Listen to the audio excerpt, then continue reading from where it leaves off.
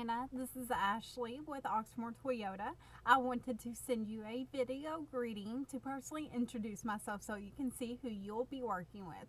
I noticed through USAA that you are interested in a new 2015 Tacoma.